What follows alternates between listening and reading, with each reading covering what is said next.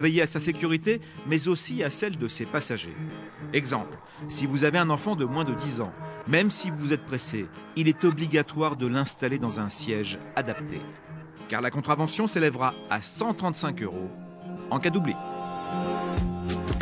Le danger, c'est finalement sur la route qu'on connaît le mieux, avec un faible kilomètre.